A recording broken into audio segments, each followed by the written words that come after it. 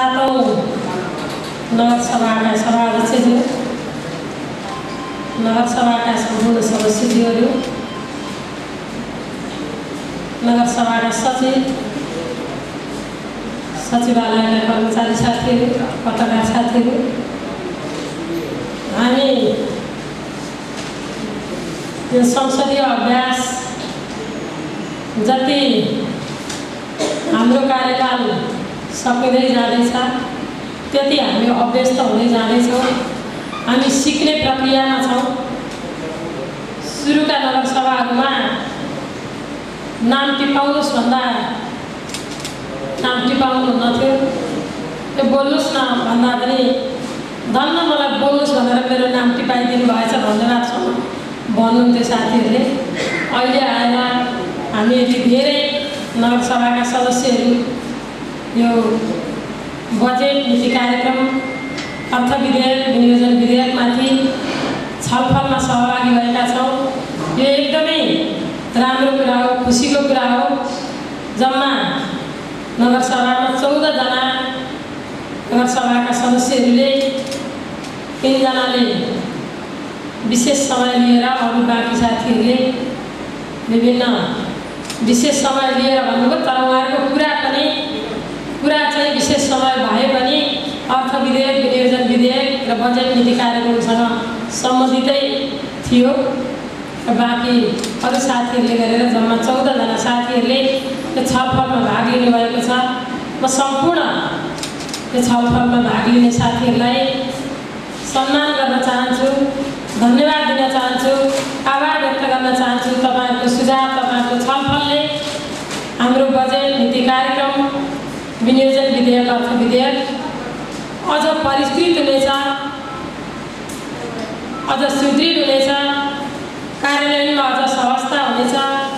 भन्ने मलाई लाग्छ यस अर्थमा पनि म धन्यवाद दिन चाहन्छु र अझै धेरैभन्दा धेरै साथीहरूले सभामा सहभागी भएर बोल्ने अभ्यास गर्नुभए अत्यन्तै राम्रो हुन्थ्यो केही कुराहरू उठेका छन् हामीलाई बोल्न बोल्ने खालको तालिम चाहियो अझै सिक्न पऱ्यो भनेर तालिमले मात्रै बोल्न जाने। तालिमै यही हो अभ्यासले नै जानिन्छ जिम्मेवारीले नै जानिन्छ भन्ने मलाई लाग्छ त्यसले गर्दा। जानिन्न कि भनेर चुप लागेर बस्यौँ भने सिकिन्न। अगाडि गएर बोल्छु भनेर हिम्मत गऱ्यौँ भने पक्कै सिकिन्छ भन्ने मलाई लाग्छ। र अझै साथीहरूले विभिन्न विषयमा हामी नगरसभा अझै हाम्रो केही दिन चल्छ। सकेसम्म धेरै साथीहरूले सभामा प्रस्तुत भएका डकुमेन्टहरूलाई अध्ययन गर्ने बेलुका घरमा गएर अध्ययन गर्ने बुझियो भने बुझिएका कुराहरूमा छलफलमा भाग लिने बुझिएन भने मैले यो विषय बुझिनँ भनेर पनि बोल्न सकिन्छ। बोल्दैमा चाहिँ बिग्रिन्छ कि केही भइहाल्छ कि भनेर डराउनु पर्दैन। यो बोल्ने अभ्यासलाई अझै धेरै साथीहरूले अगाडि बढ्नु होला भन्ने कामना गर्छु। अनुरोध गर्छु र म फेरि पनि सभामा छलफलमा भाग लिने चौधजना साथीहरूलाई हार्दिक धन्यवाद दिन चाहन्छु र साथीहरूले विनियोजन विधेयक अर्थ विधेयक र बजेट नीति कार्यक्रमका सम्बन्धमा र त्योभन्दा बाहिरका विषयहरूमा पनि कतिपय जिज्ञासाहरू राख्नुभएको छ कतिपय प्रश्नहरू राख्नुभएको छ र धेरै साथीहरूले बजेट नीति कार्यक्रम अहिलेसम्मको सबैभन्दा उत्कृष्ट भन्नुभएको छ सबै साथीहरूलाई म धन्यवाद दिन चाहन्छु। तपाईँहरूले उत्कृष्ट भन्नुभएको कुरा बाहिर मिडियामा पनि गएको छ। बाहिरबाट पनि यस वर्षको बजेट नीति कार्यक्रम अत्यन्तै राम्रो भनेर आएको छ। र बोल्ने सन्दर्भमा साथीहरूले बजेट नीति कार्यक्रम राम्रो आयो सबैले बाहिर पनि राम्रो भने हामी पनि राम्रो भनिरहेका छौँ। सुन्दा हामीलाई पनि राम्रो लाग्यो। तर आउन राम्रो आएर मात्रै सुन्दा राम्रो लागेर मात्रै हुँदैन कार्यान्वयन पक्ष पनि राम्रो हुनुपर्छ भन्नुभएको छ यो एकदमै महत्त्वपूर्ण कुरा हो कार्यान्वयन पक्षमा हामीले साउन लाग्ने बित्तिकैदेखि ध्यान दिनुपर्छ र यो कार्यान्वयन पक्षमा ध्यान दिने कुरा यो नगर प्रमुखको उपप्रमुखको प्रमुख प्रशासकीय अधिकृतको मात्रै विषय होइन। सम्पूर्ण हामी वडा अध्यक्षज्यूहरूको सम्पूर्ण सदस्यज्यूहरूको आफ्नो आफ्नो ठाउँका योजनाहरूलाई समयमा सञ्चालन गर्नका लागि उपभोक्ता समिति गठन गर्ने उपभोक्ता समितिहरूलाई घचघच्याउने लागत सहभागिता उठाउने। हामी जब जेठ लाग्छ हामीले चाहिँ शून्य सहभागितामा काम गर्न पाउनु पऱ्यो भनेर सिफारिस गर्न आउँछौँ। अनि हामी आफै फेरि समयमा बजेट कार्यान्वयन भएन भन्छौँ। त्यो कुरा हामीले साउनदेखि भदौदेखि नै पहल गऱ्यौँ भने हामी जस हामीले सबै अगाडि सारेका योजनाहरूलाई कार्यान्वयन गर्न सक्छौँ। त्यसले गर्दा यो राम्रो विषय हो। बजेट नीति कार्यक्रममा राम्रो आयो राम्रो आएर मात्रै हुँदैन यसको कार्यान्वयन पक्ष राम्रो हुनुपर्छ भनेर कुरा उठेको छ। यो एकदमै म यसमा धन्यवाद दिन चाहन्छु म अर्को विषय कृषि बजारको कुरा सम्बोधन भएन भन्नुभएको छ नौ नम्बर वार्डको कृषि बजारको हामीले डिपिआर बनाइसकेका छौँ एकातर्फको अर्कोतर्फ पश्चिमपट्टिको भागलाई हामीले चाहिँ टेन्डर गरेर ठेकामा दिइसकेका छौँ बजेट नीति कार्यक्रममा आएन तर बजेटमा थोरै भए पनि सम्बोधन भएको छ अब नौ करोडको डिपिआर आएको छ हामीसँग बाध्यता त्यस्तै छ हामीले लाख पच्चिस लाख सम्बोधन गरेर काम थाल्दै जानुपर्ने अनि हामीसँग थोरै पैसा छ अलिअलि दिनुहोस् न भनेर प्रदेश सरकार सङ्घीय सरकारसँग हामीले हात फैलाउनु पर्ने र काम अगाडि बढाउनु पर्ने हामी बाध्यतामा छौँ। तर थोरै भए पनि त्यसलाई सम्बोधन गरिएको म जानकारी गराउँछु। रात्रि बजारलाई सम्बोधन गरिएन। रात्रि बजारको योजना प्रभावकारी भएन भनेर उठेको छ दिउँसैका बजार बन्द भएका छन् नगरसभा सदस्यज्यूहरू रात्रि बजारको योजना हामीले अन्तिम चरणमा त्यसको नब्बे प्रतिशत काम हामीले रात्रि बजारको काम सकेका छौँ एउटा शौचालयको काम बाँकी रहेको हो लकडाउनले गर्दा यो वर्षको बजेट हाम्रो खर्च भएन। जति हामीले विनियोजन गरेका थियौँ एक एक पैसा पनि खर्च भएन। अब अहिले रात्रि बजार सञ्चालन गर्न सकिने दिउँसोकै बजार हामीले चाहिँ लाउन सक्ने अवस्थामा छैनौँ। त्यसले गर्दा रात्रि बजार यो वर्ष दसैँ तिहार पछि मङ्सिर कहिलेसम्म सकिन्न अहिले पनि चाहिँ कोरोनाको सन्तास हामीसँग छँदैछ। त्यसकारण हामीले रात्रि बजारको योजनालाई यो वर्षको प्राथमिकताको योजनाभित्र राखेनौँ। जति हाम्रो त्यहाँ काम भएको छ त्यसलाई परिस्थिति अलिक सहज भएपछि रात्रि बजारलाई हामीले अर्को वर्ष अगाडि सारेर थोरै रहेको कामलाई पुरा गरेर त्यो योजनालाई सञ्चालनमा ल्याउनुपर्छ यो कुरा चाहिँ त्यत्तिकै अलपत्र छोड्नु हुँदैन भने ती जानकारी मात्र गराउन चाहन्छु। अर्को कुरा यो नगरसभा सदस्यजीहरूको पन्ध्र प्रतिशत भत्ता काट्ने कुरा आएको छ यो कहाँबाट आयो यो पैसा कहाँ जान्छ किन काट्ने नकाटेको भए राम्रो हुन्थ्यो भन्ने कुरा उठाउनु भएको छ सदस्यजीहरूको मात्रै कुरा होइन। सम्पूर्ण जनप्रतिनिधिहरूको भनेको नगर प्रमुखदेखि उपप्रमुखदेखि वार्ड अध्यक्षजीहरू सबैको भनेको तर सबै पाउने पैसामा काट्ने भनिएको होइन। हामीले पाउने बैठक भत्तामा मात्रै काटौँ। र त्यो पैसालाई हामीले कर्मचारीको पैसा पनि कटौती गरेका छौँ केही पैसालाई। अनावश्यक बैठकमा चाहिँ हामी कार्यपालिका बैठकमा हामी कार्यपालिकाका सदस्यहरू प्रमुख प्रशासकीय अधिकृत प्रशासनको साथीहरू केही प्राविधिक साथीहरू लेखाका साथीहरू अनिवार्य हुन्छ बस्नुपर्ने। तर हामी जति छौँ एउटा आफ्नो शाखाको विषयमा प्रश्नमा आयौँ भने जति छौँ सबैले हामीले सहभागी भएका जतिले भत्ता लिने हाम्रो परम्परा थियो त्यो चिजलाई हामीले कटौती गरेका छौँ। चालु खर्चलाई हामीले कटौती गरेका छौँ। चालु खर्चलाई घटाउनुपर्छ र हामीले त्यो पैसालाई योजनामा समावेश गर्नुपर्छ भन्ने आशयबाट यो कुरा आएको अनि कर्मचारीहरूको कटौती गर्दै गर्दा जनप्रतिनिधिले हाम्रो चाहिँ ट्रस्टका मस नगर्ने हो भने त्यसको म्यासेज राम्रो पनि जाँदैन बाहिर पनि म्यासेज राम्रो जाँदैन भन्ने लागेर हामीले बैठकमा लिने भत्ता पचासदेखि साठी रुपियाँभन्दा बढी घट्ट घट्दैन जस्तो लाग्छ मलाई एउटा बैठकको। त्यो पैसालाई हामीले कोरोना तथा स्वास्थ्य कोष भनेर जम्मा गर्नुपर्छ भनेर प्रस्ताव राखिएको हामीसँग। कोरोनाको शीर्षकमा तपाईँहरूले कसैले पनि उठाउनु भएन यो कुरा। अहिले पनि कोरोनाको त्रास हटेको छैन। अहिले हाम्रो क्वारेन्टाइनमा सयजना मान्छेहरू प्याकम प्याक छ कोही आज एकजना मान्छे आयो भने हामी थप्न सक्ने अवस्थामा छैनौँ। त्यो खर्च हामीले हालिरहेका छौँ। प्रदेश सरकारसँग सङ्घीय सरकारसँग हामीले माग गरिरहेका छौँ। आउँछ कि आउँदैन थाहा छैन आएन भने पनि हामीले खर्च गर्नुपर्छ। कहाँबाट भोलि खर्च गर्ने? त्यसले गर्दा हामी जनप्रतिनिधिहरूले थोरै त्याग गर्दा कोरोना तथा भोलि कोरोना हटिसकेपछि पनि त्यो कोष त्यो कोषको पैसा के गर्ने भन्ने अर्को प्रश्न उब्जिन्छ भनेर कोरोना तथा स्वास्थ्य कोष भनेर त्यसमा जम्मा गरौँ। भनेको थोरै पैसा मात्रै हाम्रो कट्ने हो। त्यो प्रस्ताव मैले नै कार्यपालिका बैठकमा गरेको थिएँ। मिलाएर ल्याउनुहोस् न प्रस्ताव भन्नुभयो साथीहरूले वार्ड अध्यक्षज्यूहरूले त्यसमा हुँदैन भन्ने कुरा आएन। सबै पैसा हामी मासिक रूपमा हामीलाई सेवा केही सेवा सुविधा भनेर प्रदेश कानुनले तोकेको छ। त्यो पैसामा कटौती गर्ने प्रस्ताव आएको होइन। वार्डको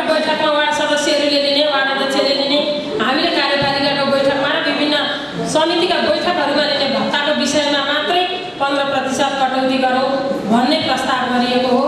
यसमा अन्यथा हुँदैन भने यसलाई कोरोना तथा स्वास्थ्य कोष भनेर हाम्रो पालामा सुरुवात गरेको कोषमा लाखौँ लाख पैसा जम्मा होस्। भोलि इटलीका नागरिकहरूले आज स्वास्थ्यको कुरा उठिरहेको छ अस्पतालको कुरा उठिरहेको छ। अस्पताल भएन पुगेन। यसमा अझै पैसा छुट्याउनु पर्थ्यो भन्ने कुरा उठिरहेको छ भने हाम्रो पैसा कटौती गरेर राखेको कोषबाट भोलि इटलीका नागरिकको स्वास्थ्य उपचार गर्न सकिन्छ भने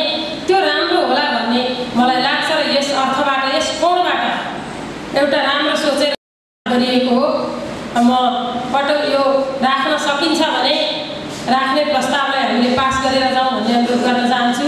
यदि सकिँदैन त्यसले हामीलाई ठुलै नोक्सानी हामी सधैँभरिका लागि जनप्रतिनिधि भएका होइनौँ पाँच वर्षका लागि हौँ तिन वर्ष त बित्यो अब दुई वर्ष बाँकी छ। धेरै कट्यो भने एकजना सदस्यको वर्षभरिको एक हजार पर्छ। त्यसले गर्दा यो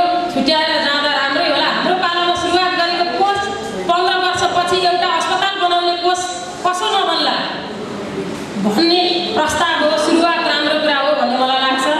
मैले यो प्रश्न बुझाउन बजेट नीति कार्यक्रम पढ्दा यति लामो गरी मैले प्रश्न बुझाउन सकिनँ होला। यहाँहरूको भित्रबाट कुरा आइरहेछ राखौँ राखौँ भन्ने। यो राख्ने नै भन्ने होला भन्ने मैले बुझिरहेको छु।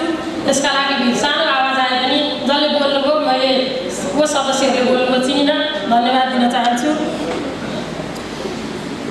हाम्रो नीति कार्यक्रममा हाम्रो इटरी अस्पतालमा चारजना डक्टर भनेर आएछ त्यो प्रिन्ट मिस्टेक नि हाम्रो पाँचजना डक्टर हो त्यसलाई सच्याइएको म जानकारी गराउँछु।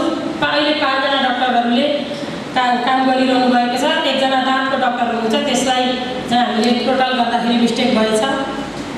तर कृषि फर्म हाम्रो मातहतमा छ कि छैन भन्नुभएको छ। त्यो सङ्घीय सरकारको मातहतको हो। हाम्रो मातहतको होइन तर हाम्रो भूगोलभित्र भएकोले हामीले कतिपय कामहरूमा समन्वय गर्न सक्छौँ। त्यहाँबाट पाउनुपर्ने सुविधाहरू तालिमहरू गर्नु पऱ्यो भने अरू कतिपय सुविधाहरू हामीले त्यहाँबाट लिन सक्छौँ। तालिम गर्ने ठाउँको रूपमा त्यही ठाउँलाई हामीले कृषि सम्बन्धी तालिमको रूपमा त्यही ठाउँलाई हामीले उपयोग गर्न सक्छौँ। त्यहाँ भएको विशेषज्ञहरूको प्राविधिक विशेषज्ञहरूको सेवालाई सहज तरिकाले हामीले उपयोग गर्न सक्छौँ र त्यो उपयोग गर्ने नीतिलाई हामीले अगाडि बढाउनुपर्छ भन्ने लाग्छ। इटहरीको पृथ्वी चोक राखिने कुरा किन इटली चोकबाट किन पृथ्वी चोक भनियो? यो नराखेको भए के हुन्थ्यो? इटली चोकै भनेको भए के हुन्थ्यो? भन्ने साथीहरूको जिज्ञासा छ। हामीले बजेटमा इटलीको गोलो चोक अहिले गोलो चोक भन्छौँ मुखले तर केही वरिपरिका बोर्डहरू अहिले पनि वीरेन्द्र चोक भनेर राखिएको छ। हिजो वीरेन्द्र राजा वीरेन्द्रको शालिग थियो इटली चोकमा। आन्दोलनका बेलामा त्यो शालिग चाहिँ आन्दोलनले हटायो। अहिले त्यो ठाउँ खाली छ। त्यो ठाउँलाई खाली नै राखेर हामीले हाम्रो पाँच वर्ष कार्यकाल बिदा गर्ने कि? त्यहाँ केही चिज बनाउने भन्ने खालको छलफलमा कुरा आयो। आइसकेपछि हामीले विज्ञ सल्लाहकारहरूसँग पनि छलफल गऱ्यौँ। पत्रकारहरूसँग विभिन्न सेक्टरसँग हामीले बजेट योजना तर्जुमा समितिले छलफल गऱ्यौँ। चार पाँच खालका छलफलहरू आए प्रस्तावहरू आए र त्यो प्रस्ताव आउने सन्दर्भमा धेरैजनाबाट पृथ्वीको नक्सा राखौँ पृथ्वीको एउटा चाहिँ जो आकार हुन्छ बनाएर राखौँ। त्यसमाथि नेपालको नक्सा राखौँ। नेपालको नक्सा अहिलेको कालापानी लिपुलेख सहितको नक्सा राखौँ। त्यो नक्सा बनाउनेमा हामी पहिलो हुन्छौँ। त्यसपछि त्यो पनि त्यसलाई कल्पना गर्दा अलिकति बसेर प्राविधिकहरूसँग थोरै सल्लाह पनि गरिएको छ। त्यो त्यसको डिपिआर बनाउनेसँग बसेर यति कुरा आइसकेपछि र यो चिजलाई बजेटमा नीति कार्यक्रममा समावेश गरेर जाने भनेपछि छलफल गर्दा छलफल गर्दै जाँदा हामीले सोचेको दमकमा पनि एउटा चाहिँ पृथ्वीको डल्लो बनाएर राखिएको छ। त्यस्तो मात्रै हामीले इटली चोकमा परिकल्पना गरेको होइन। मैले भन्दा उहाँलाई भनेको छु म प्राविधिक होइन त्यो विषयमा जान्दिनँ। बनाउने साथीहरूले भोलि कस्तो बनाउनुहुन्छ के को बनाउने सिमेन्टको बनाउने कि त्यो अरू नै चिजको बन्छ कि के को बन्छ त्यो मलाई थाहा छैन। त्यसको खर्च कति आउँछ त्यसको पहिली त डिपिआर बनाउनुपर्छ तर मैले छलफलमा साथीहरूले ल्याएको कुरा यहाँहरूको बिचमा मैले सुनाउनुपर्छ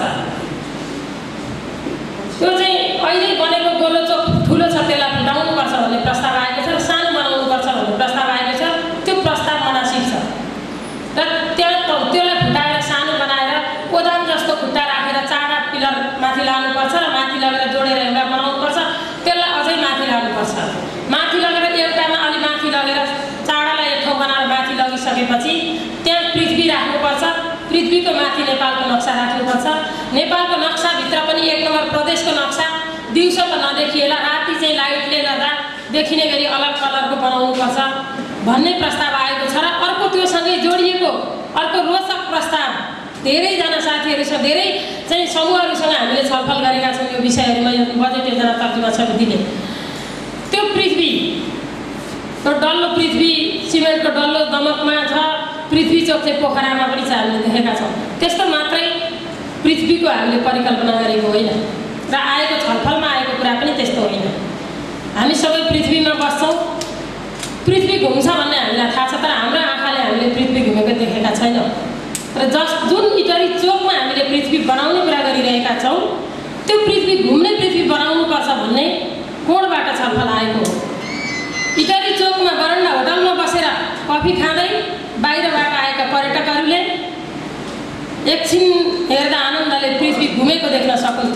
हामी पृथ्वी घुम्छ भन्ने कुरामा विश्वास गर्छौँ। आजसम्म आँखाले देखेका छैनौँ।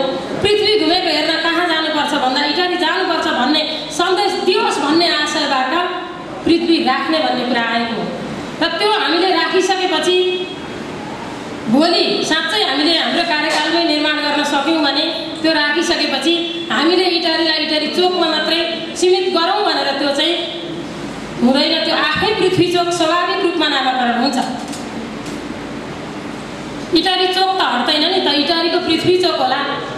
या हामीले आज पृथ्वी चोक पास नगरे पनि त्यहाँ हामीले पृथ्वी बनाइसकेपछि नेपालको नक्सा बनाइसकेपछि र त्यो एउटा चाहिँ पर्यटकीय क्षेत्रको रूपमा इटारी चोक विकसित हुन्छ।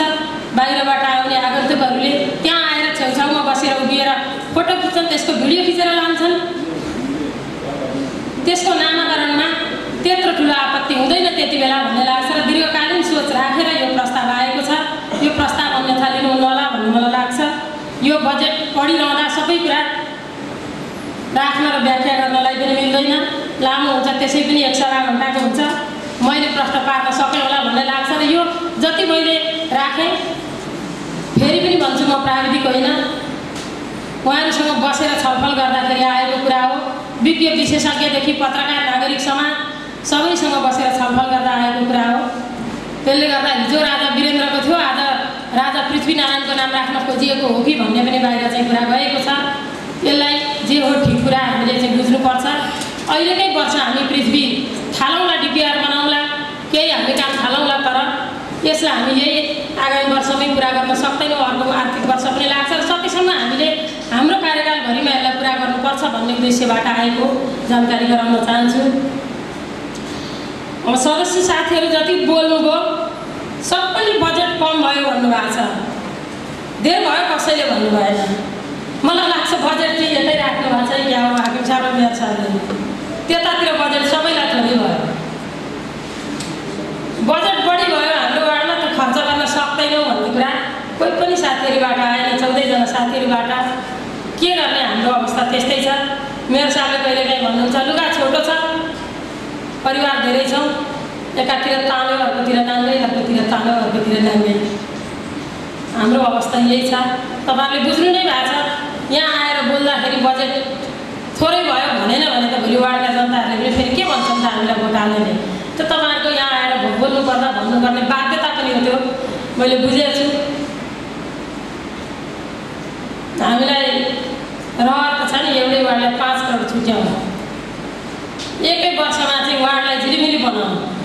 तर हामीसँग बजेट सीमा छ आकार सानो छ चाहे जति हामी गर्न सकिरहेका छैनौँ। पढ्नु दाइले होला सायद मेरो मेरोको कुरा मिल्दैन के हो भन्नुभएको छ मैले त सुरुमा दाइले एक दुईजना बोल्दा भन्नुभएको थियो वार्ड सदस्यहरूको पनि कुरा मिलेको देखिनँ मैले चौधजनाले बोलिसक्दा के भन्ने यसलाई झगडा भन्ने? मैले सोधेँ बाहिर इन्फामा तपाईँहरूको पनि मेरो साथसँग कुरा मिलेन त अनि केही केही पनि पुगेन केही पनि पुगेन भन्नुहुन्छ कोही सन्तुष्ट हुनुहुन्न भन्दा? हाम्रो गार्जेनसँग हामीले यति भन्न नपाउने? भन्ने जवाब मलाई दिनुभयो। मेरो साथ मेरो पनि गार्जेन हो मैले पनि केही कुरा भन्न पाउँछु होला। तर यसलाई झगडा भनेर झगडाको रूपमा लिनु हुँदैन। आज इटालीलाई हामीले जुन ठाउँमा पुर्याएका छौँ नगर प्रमुखको भिजन दृष्टिकोण र त्यसमा उपप्रमुखले साथ नदिएको भए आज जति हामीले काम गरेका छौँ त्यो सफल हुन सक्दैन थियो भन्ने मलाई लाग्छ। र नगर प्रमुख र उपप्रमुखको बिचमा द्वन्द्व छ झगडा छ भनेर प्रचार गरिरहँदा नगरपालिकाभित्रका केही बाहिरका साथीहरूलाई आनन्द आउँछ भने त्यसले केही फाइदा लिन सकिन्छ भने त्यो प्रचार गर्ने सुविधा पनि सबैलाई छ। तर जति प्रचार भएको छ बाहिर त्यस्तो छ भन्ने मलाई लाग्दैन हामीले बजेट बनाउँदा मिलेरै बनाएका छौँ कार्यान्वयन गर्दा मिलेरै बनाएका छौँ। साना साना विषयहरूमा हामीले छलफल गरेकै छौँ। सल्लाहले नै नगरपालिकाको नेतृत्व गरेका छौँ यहाँहरूको भावनाको प्रतिनिधित्व गरेका छौँ। यो विषय जे उठै उठ्छ र उठाइन्छ यो गलत कुरा हो यसका पछाडि नलाग्नका लागि म सम्पूर्ण नगरसभा सदस्यजीहरूलाई अनुरोध गर्न चाहन्छु तपाईँहरूका अगाडि मेयर साहबमा मैले झगडा गरेको त कसैले देख्नु भएको छैन कुटाकुट गरेको पनि देख्नु भएको छैन। सुन्नु मात्रै भएको हो भने त्यो गलत कुरा हो। फेरि पनि अनुरोध गर्छु यसका पछाडि नलाग्नुहोस्। तपाईँहरू सबैको गार्जेन साहब हो मेरो पनि गार्जेन हो। मैले नगर प्रमुखलाई सम्मान गर्नुपर्छ मर्यादा राख्नुपर्छ। उहाँको सल्लाहमा नै मैले पनि काम गर्नुपर्छ। तपाईँहरू सबैको काम गर्ने सन्दर्भमा कहिलेकाहीँ होचो अघिल्लो भयो भने तपाईँहरूको प्रतिनिधित्व गर्दै मेरो साथसँग तपाईँहरू सँगसँगै मैले कहिलेकाहीँ चाहिँ झगडा पनि गर्नुपर्छ। एउटा परिवारभित्र अगुल्टो पनि नठोसी बन्दैन। त्यसले गर्दा त्यो झगडा होइन। आफ्नो अभिभावकसँग आफ्नो चाहिँ कुरा प्रस्तुत गर्ने कला पनि हो। त्यसलाई अन्यथा प्रचार गर्न छोड्नुपर्छ गलत प्रचार बाहिर सुन्नुभयो भने तपाईँहरूले नै यो कुरालाई चिर्नुपर्छ भन्ने अनुरोध गर्न चाहन्छु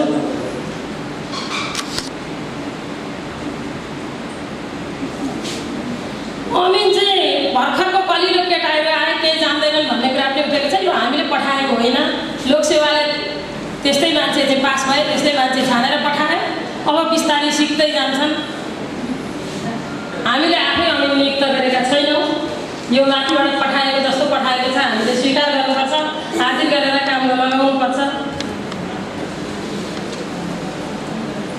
कृषिमा बजेट बढेकोमा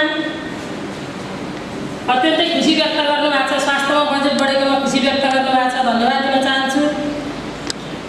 सायद नगरसभा सदस्य तेजनारायणजीले होला अरूको भन्दा फरक कुरा उठाउनु भएको छ। साउन महिनामा नै वार्षिक क्यालेन्डर बनाउनुपर्छ भन्नुभएको छ खरिद योजना बनाउनुपर्छ भन्नुभएको छ।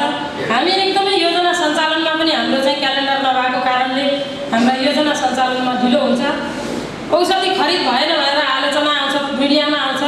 त्यसले गर्दा अहिले हाम्रो जो प्रमुख प्रशासकीय अधिकृत आउनु भएको छ उहाँले पनि यो त साउनमै खरिद योजना बनाउनु पर्ने अलि सिस्टम बसेको रहेनछ यहाँ।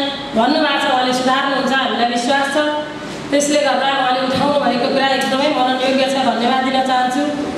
राजस्वको दर होइन दायरा बढाउने गरेको प्रस्ताव आएको रहेछ भन्नुभएको छ। नगरसभा सदस्यहरूले हिजो अगाडिका नगरसभाहरूमा विनियोजन विधेयक मात्रै अध्ययन गर्नुहुन्थ्यो। मलाई लाग्यो यसपालिदेखि अर्थ विधेयक पनि अध्ययन गर्न थाल्नुभएछ। एकदमै खुसी लागेको छ।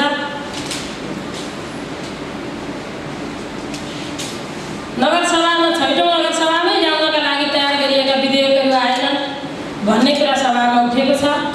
हामी सभालाई अझै केही दिन सञ्चालन गर्ने र हामीले विगतमा तयारी गरेका।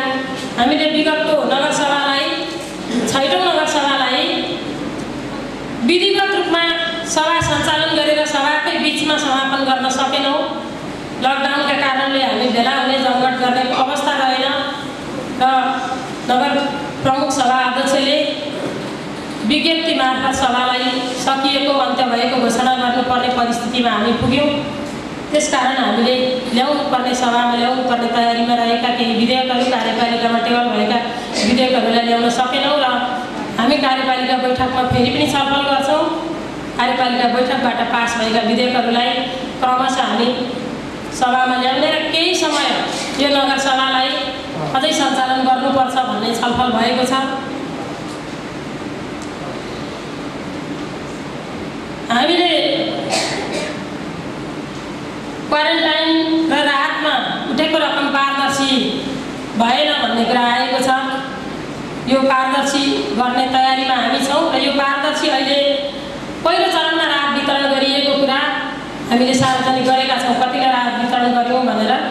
र त्योसँगै क्वारेन्टाइन निर्माणको खर्च पनि हामीले सार्वजनिक गरेका थियौँ। त्यति बेला क्वारेन्टाइन भर्खरै सञ्चालनमा आएको थियो। र दोस्रो चरणको राहत वितरणको अहिले अझै पनि एक दुईवटा वार्डको खर्चोट बाँकी नै छ। त्यो सकिएपछि हामी यो सबै खर्चलाई सार्वजनिक गर्ने नै छौँ पत्रकार सम्मेलन गरेर या विज्ञप्तिबाट हामी सार्वजनिक गर्ने नै छौँ। र मैले अन्त्यमा अहिलेसम्मको मोटो यो कोरोनाभरिको खर्चको केही मोटो रकम म जानकारी गराउँछु अहिले मैले अरू विषयमा जान्छु। पोखरी संरक्षणमा वार्ड नम्बर पाँचको पोखरी छुट्यो यसलाई समावेश गर्नुपर्छ भन्नुभएको छ। यो राम्रो कुरा उठाउनु भएको छ यसलाई स्वीकार गर्न चाहन्छु। पिछडा वर्गको बजेट नौ लाख मात्रै पोहोर पनि नौ लाख परार पनि नौ लाख अहिले पनि नौ लाख भन्नुभएको छ। कति राम्रो कुरा यो त मैले हेरेकै थिइनँ। सबै क्षेत्रको बजेट घट्यो पिछडा वर्गको बजेट चाहिँ जतिको तति रहेछ भए पनि यो वर्ष। परारको सालको बजेट घटेर अहिले आधी भएको छ दलितको आधी भएछ भन्दै हुन्थ्यो अघि नगरसभा सदस्यले। पिछडा वर्गको घटेन छ। परारको साल पनि नौ लाख पोहोर पनि नौ लाख अहिले पनि नौ लाख। यो खुसीको कुरा हो। खुसी मान्न अनुरोध गर्छु। हामीले सबै माथिबाट बल बजेटको भोलमै घट्यो। अनि सामाजिक क्षेत्रको त झन् हामीले बजेट घटाएका छौँ। साढे तिन करोड थियो अहिले तिन करोड मात्रै बनाएका छौँ। त्यसमा पनि करिब सत्तरी लाख जति हाम्रो म्याचिङ फन्डमा गयो। एउटा अपाङ्गता रोकथाम तथा पुनस्थापना सामीसँगको वैदेशिक रोजगारमा गएका व्यक्तिहरूको परिवारसँग गर्ने कार्यक्रम छ। त्यो दुईवटा प्रोजेक्ट हामी सञ्चालन गरिरहेका छौँ अघिल्लो वर्षदेखि नै। त्यसको म्याचिङ फन्डमा हामीले हाल्नुपर्ने पैसा करिब सत्तरी लाख गयो त्यो जाँदा त्यो त्यो कति हुन्छ? दुई करोड तिस लाखलाई हामीले सोह्रवटा सेक्टरलाई बजेट विनियोजन गर्नुपर्दा जनसङ्ख्याको आधारमा हामीले त्यसलाई चाहिँ धेर थोर गर्ने गर्छौँ मिलाउने गर्छौँ र त्यो नौ लाख प्राप्त भएको त्यसलाई पर्याप्त मान्नुपर्छ भन्ने लाग्छ मलाई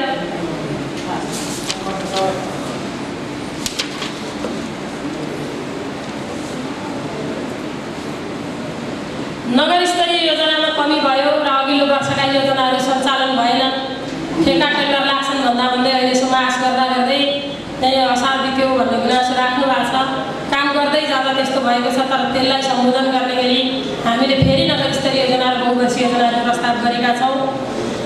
त्यो सम्बोधन हुनेछ। मजदुर ग्रामको कुरा उठाउनु भएको छ। एकदमै राम्रो कुरा हो। अहिलेको बजेटले हामीले समावेश गर्न सकेनौँ। आउने बजेटमा त्यसलाई सम्बोधन गरेर लानुपर्छ भन्ने लाग्छ।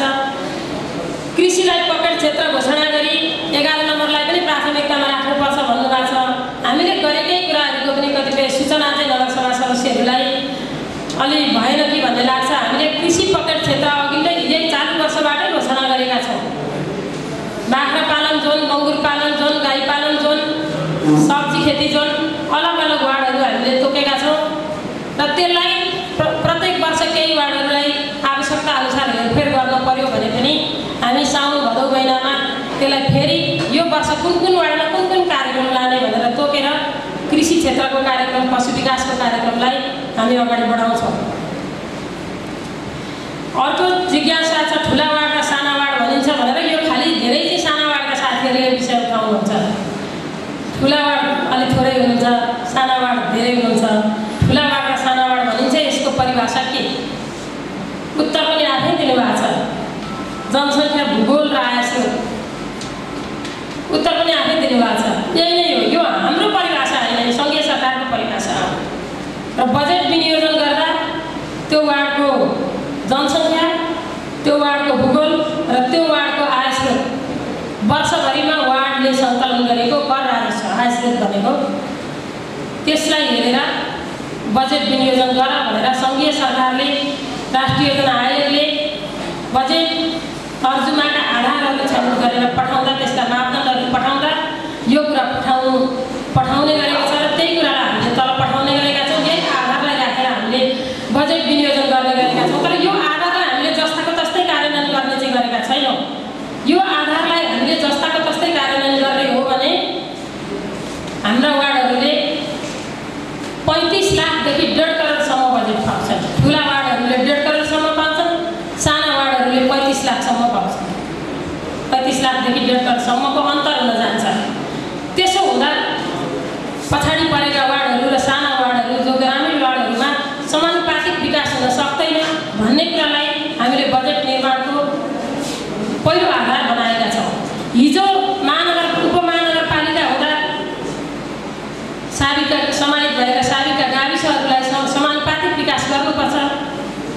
त्यहाँका नागरिकलाई भएको अनुभूति दिलाउनुपर्छ भन्ने उद्देश्य राखेर हामीले बजेट विनियोजन गर्दा त्यो चिजलाई प्राप्त सिलिङलाई सिलिङ तोक्दाखेरि वार्ड स्तरीय सिलिङ तोक्दाखेरि हामीले यो आधारलाई माने पनि हामीले नगर स्तरीय योजनाहरू छनौट गर्दा बहुवर्षीय योजनाहरू छनौट गर्दा त्यो आधारभन्दा बाहिर गएर हामीले साना वार्ड बजारभन्दा बाहिरका वार्डहरूलाई पहिलो प्राथमिकतामा राखेका छौँ भन्ने मलाई लाग्छ यहाँहरूले देखिरहनु भएको छ काम भइरहेको छ।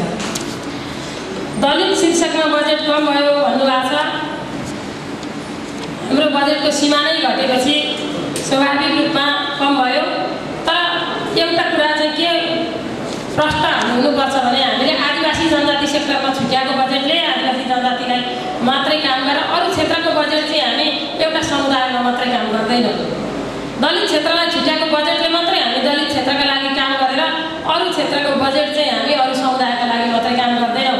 यहाँ दलित बस्ती रहेछ त्यसले गर्दा अर्को सेक्टरको योजना हाल्न हुँदैन भन्दैनौँ हामी सबै योजनाहरू हामीलाई चाहिँ सबै समुदायमा समानुपातिक हिसाबले पुग्छन्।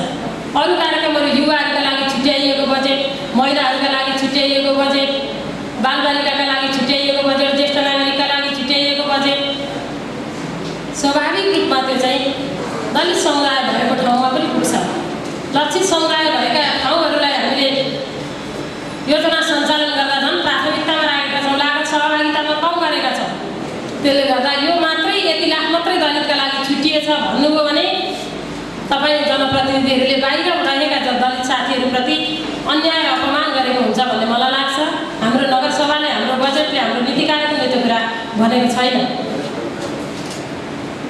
यसलाई बजेटलाई कार्यान्वयन गर्ने सन्दर्भमा कतिपय बजेटहरू कार्यान्वयन गर्दा हामीले उपमेरा आत्मनिर्भर कार्यक्रमको एउटा कार्यक्रम चलायौँ पैँतिसजना महिलाहरूलाई हामीले चलायौँ सबै ठाडो समुदायका महिलाहरू त्यो पैँतिसैजना अनि त्यो त आदिवासी जनजाति सेक्टर हो नि त त्यसो भने। त्यो चाहिँ छेत्री समुदायमा मात्रै गाउँ समुदायमा मात्रै या नेवार समुदायमा मात्रै चलाउने भन्ने त हुँदैन। ती त्यस्ता खालका कार्यक्रमहरू सबै समुदायमा जाने हुनाले गर्दा दलितका लागि छुट्याइएको बजेट चाहिँ कम भयो त्यो। अझै पुग्दैन कि? अझै चाहिँ काहीँ चाहिँ अपमानित हुन्छ कि? अझै दलितका सम्बोधन हुँदैन कि भनेर मात्रै हामीले छुट्टै बजेट राख्ने गरिएको र अरू सेक्टरको पनि कुरा त्यही हो पिछडा वर्गको हकमा पनि कुरा त्यही हो हामीले पिछडा वर्गको बस्तीमा बाटो त बनाउँछौँ यही नौ लाखले त पुग्दैन नि त यो चिजलाई चाहिँ अलिक फराकिलो दृष्टिकोणले हेर्नुपर्छ भन्ने मलाई लाग्छ सय सयको अस्पतालको कुरा भन्दै हुनुहुन्थ्यो सायद नगरसभा सदस्य तोया ढकालले होला सय सयको अस्पताल होइन अस्पतालको कुरा उठेको छ यहाँ चाहिँ नगरसभा सदस्य दिपक गौतमले पनि अस्पतालको कुरा उठाउनु भएको छ अस्पतालको कुरा उठाएर मात्रै हुँदैन अस्पताल सञ्चालन गर्ने निर्माण गर्ने कुरा जटिल कुरा छ कानुनमा के छ भन्ने कुरा चाहिँ नगरसभाका सदस्यजीहरूले ध्यान दिनुपर्छ अध्ययन गर्नुपर्छ भन्ने मलाई लाग्छ स्थानीय सरकार सञ्चालन ऐन पढ्नु भएको छैन कि भन्ने मलाई लाग्छ र वार्ड अध्यक्षहरूले पनि पढ्नु भएन कि आफ्नो मात्रै अधिकार के के रहेछ वार्ड अध्यक्षको भन्ने मात्रै पढेर अरू चिज पढ्नुहुन्न कि भन्ने मलाई लाग्यो स्थानीय सरकार सञ्चालन ऐनले प्रश्नसँग स्थानीय उपमहानगरपालिकालाई पच्चिस सयसम्मको अस्पताल सञ्चालन गर्ने अनुमति प्रदान गरेको छ त्यहाँभन्दा माथिको अस्पताल सञ्चालन गर्नु पऱ्यो भने प्रदेशलाई नमस्कार गर्दै हामी जानुपर्छ सङ्घीय सरकारलाई हाम्रोमा ठुलो अस्पताल बनाइदेऊ न भन्दै हामी जानुपर्छ हो इटरीमा एउटा विडम्बना छ ठुला नेताहरू मन्त्री भएका प्रधानमन्त्री भएका नेताहरू इटरीमा छैन कुनै पनि दलका पूर्व प्रधानमन्त्री भएका जिल्लाहरूमा पनि बजेट राम्रै पर्छ वर्तमान भएकाबाट झन् पर्ने नै गइगयो इटरी त्यस्तो ठाउँ हो.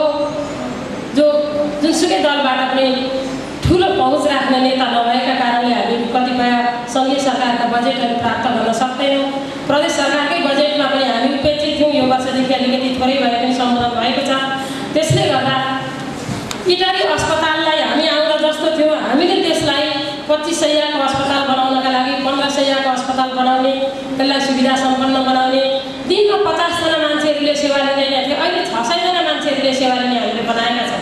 इटली अस्पताललाई। त्यो अस्पतालको स्तर उन्नति होइन र यसपालिदेखि हामीले भिडियो एक्सरे र डिजिटल एक्सरे पनि राखेका छौँ। दुईवटा एम्बुलेन्स हामी खरिद गर्दैछौँ। यो वर्ष हामीले तेइस कोठाको भवन बनाउनलाई पछाडिपट्टि सङ्घीय सरकारको सहयोगमा तेइस कोठे भवन हामी तिन तले भवन बनाउँदैछौँ।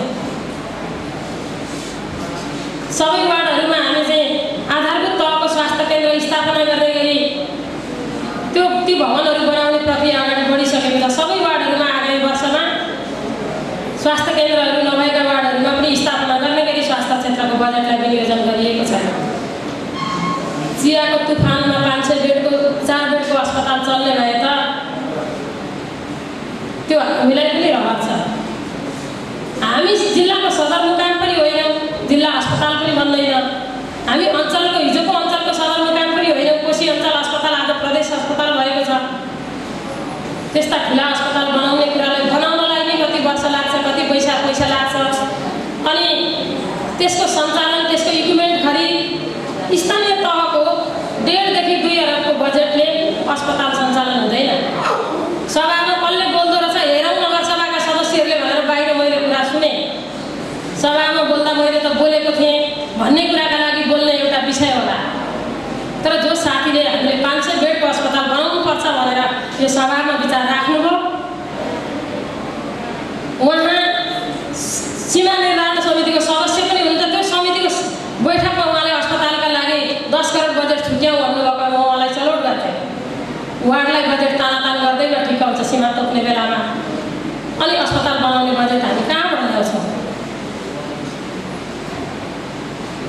यो चिजलाई राख्नुपर्छ जति बेला सीमा तोक्यौँ मेरो साथ अध्यक्षता मिटिङ बस्यौँ त्यति बेला दस करोड रुपियाँ अस्पतालका लागि छुट्यौँ भनेको भए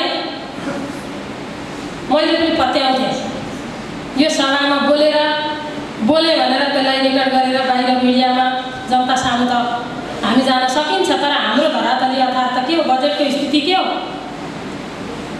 अहिले पनि मेरै बाटोमा पुगेन अहिले पनि मेरै कलबटमा पुगेन मेरो वार्डमै धुलो छ मेरो वार्डमै हिलो छ हामी भनिरहेका छौँ अनि अस्पताल सञ्चालन गर्नका लागि मेयरले जग्गा बेचेर मेयरले जग्गा बेचेर ल्याउनेलाई सञ्चालन गर्ने त होइन होला हामी कोही पनि जनप्रतिनिधि सक्दैनौँ होला सक्छौँ भने हामी सबैले आफ्नो गच्छे अनुसारको पैसा जम्मा गरौँ यही वर्षदेखि अस्पताल बनाउने काम थालौँ हामीले मुक्ति के अरे हाम्रो प्रणाली मुक्ति घाट गङ्गा जमुना मुक्ति घाट जसले सञ्चालन गर्नुभएको छ उहाँले हामी अस्पताल बनाउँछौँ भन्नुभयो पाँच बिघा जग्गा हामीले निर्णय गरेका छौँ भोग अधिकार दिनका लागि प्रदेश सरकार सङ्घीय सरकारसँग सिफारिस गरेका छौँ उहाँले बनाउनुहुन्छ भने ल ठिक छ भनेर जग्गा उपलब्ध गराउनुहोस्। हामी बनाउँछौँ भनेर हामीले गरेका छौँ। प्रक्रिया त हामीले अगाडि बढाएका छौँ।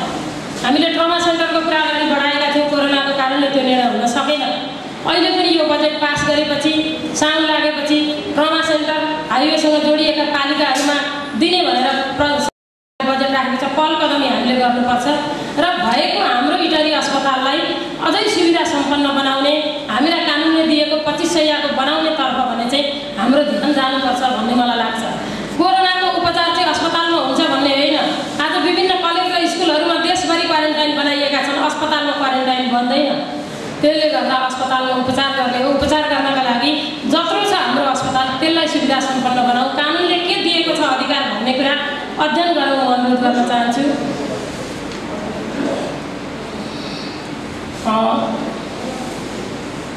यो हाम्रा लकडाउनकै बिचमा यही चालु वर्षमा एकजना वार्ड अध्यक्ष वार्ड नम्बर एकका वार्ड अध्यक्ष र वार्ड नम्बर दसका वार्ड सदस्य बित्नु भएको कुरा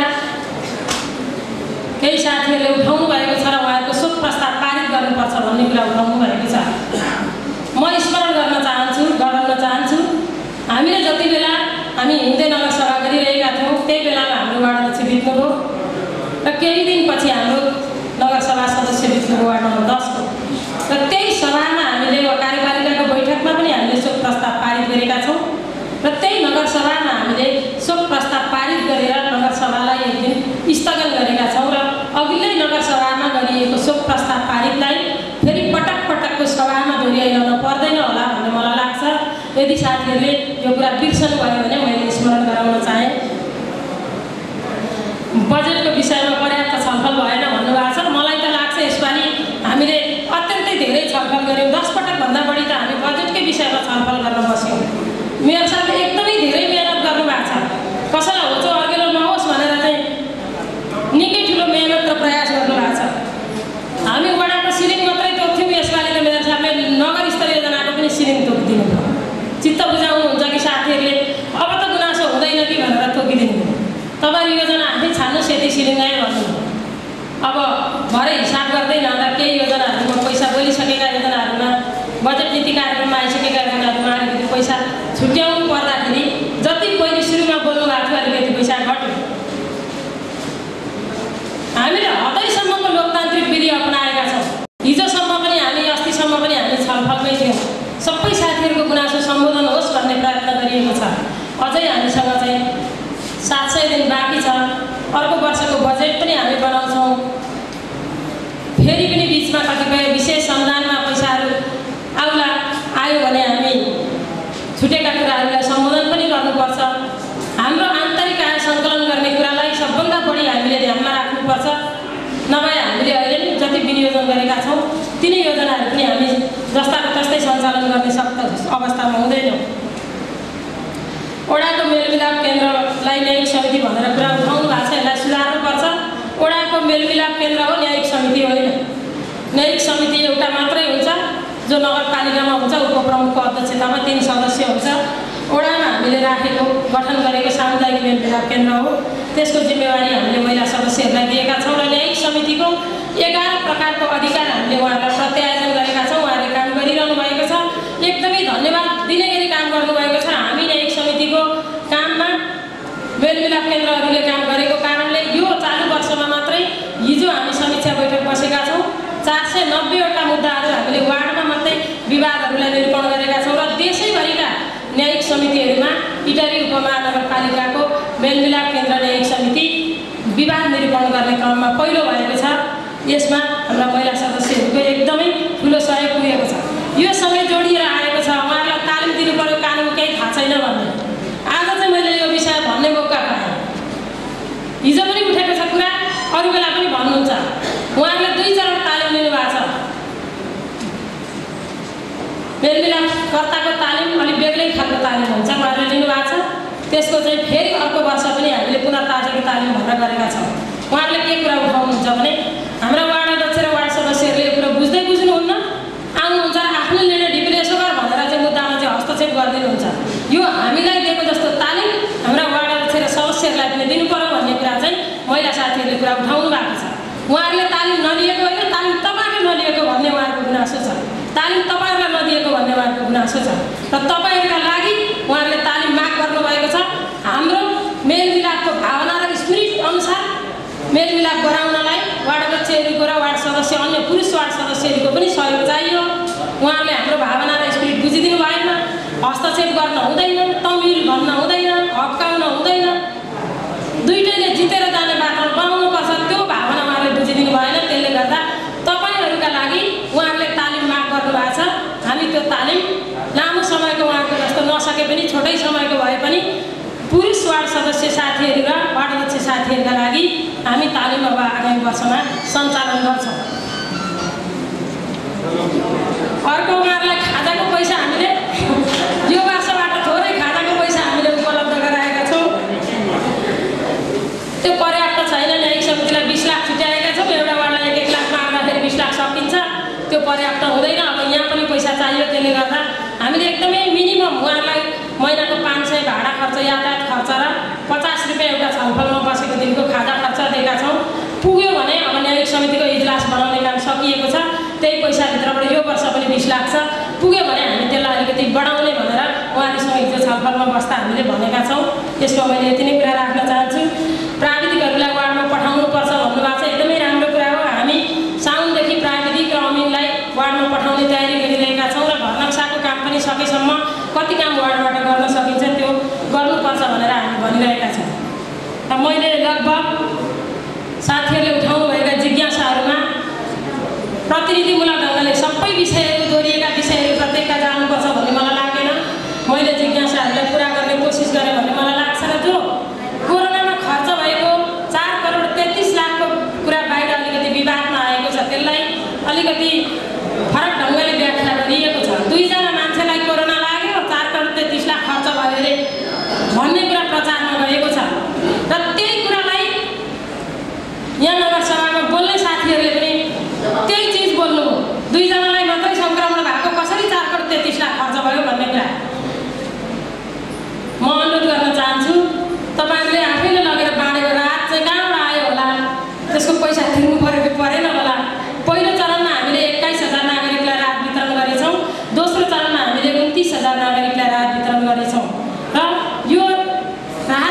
सहितको क्वारेन्टाइन सञ्चालन सहितको खर्च हो भन्ने कुरा म जानकारी गराउन चाहन्छु र हामीले नगरपालिका कोषबाट जम्मा जनप्रतिनिधिको एक महिनाको पैसा हामीले हालेका छौँ कर्मचारीहरूको पनि हामीले एक हप्ताको पैसा हालेका छौँ चार करोड छत्तिस लाख रुपियाँ हामीले नगरपालिकाभित्रबाट हाम्रो सञ्चित कोषको पैसा कर्मचारीहरूको केही पैसा जम्मा गरेको पैसा र जनप्रतिनिधिहरूको एक महिनाको पैसा गरेर चार करोड छत्तिस लाख जम्मा भएको छ। सहयोगदाताहरूबाट शिक्षकहरूको तलब सहित बैसठी लाख तेह्र हजार नौ सय उनासी रुपियाँ जम्मा भएको छ। हामीसँग आएको पैसा त्यति नै हो। बोलेको केही दाताहरूले बोलेको पैसाहरू जम्मा हुने क्रममा छ सबै पैसा आइसकेको छैन। बोलेको कुरालाई पनि हामीले सार्वजनिक गरेका थियौँ तर त्यो सबै पैसा जम्मा नभइकन हामीले देखाउन मिल्दैन। आउने क्रममा छ कति पैसा आउला पहिलेसम्ममा आउला हामी आशावादी छौँ हामी त्यसलाई चाहिँ खबरदारी त तपाईँहरूले समयमा जम्मा गरिदिनु पर्यो भनेर सूचना पनि गरिरहेका छौँ। र यसैभित्रबाट खर्चतर्फ तिन करोड उनानब्बे लाख एकानब्बे हजार नौ सय नौ रुपियाँ हामीले राहत वितरण गरेका छौँ दुई चरण गरेर। र क्वारेन्टाइन सञ्चालनमा चौवालिस लाख चौबिस हजार खर्च गरेका छौँ हामीले। क्वारेन्टाइन निर्माणमा हाम्रो करिब तेह्र लाख जति खर्च भएको छ। बाँकी अरू पैसा हामीले क्वारेन्टाइनमा बस्ने नागरिकहरूको खाना खाजा औषधि त्यहाँ लाग्ने अरू सामग्रीहरूको खर्च गरेर यति खर्च अहिलेसम्म भएको चार करोड तेत्तिस लाख। यो राहत वितरण र क्वारेन्टाइन सञ्चालन औषधि खरिद हामीले प्रयोग गरिरहेका मास्कहरू यी लगायतको खर्च हो भन्ने कुरा म जानकारी गराउन चाहन्छु र यसको खर्च दुई तिनवटा वार्डको अझै पनि बाँकी रहेको छ। यो सकिने बित्तिकै हामी यसलाई यो कोरोनाको खर्चलाई हामी सार्वजनिक गर्नेछौँ। पहिलो चरणको सार्वजनिक गरिएको थियो दोस्रो चरणको बाँकी थियो र यो दुवैलाई हामी सार्वजनिक गर्छौँ भन्ने कुरा यहाँहरूको बिचमा राख्दै मैले यहाँहरूले उठाएका जिज्ञासाहरू सबै पुरा गर्ने कोसिस गरेँ भन्ने मलाई लाग्छ। हामीलाई बजेट पुगिरहेको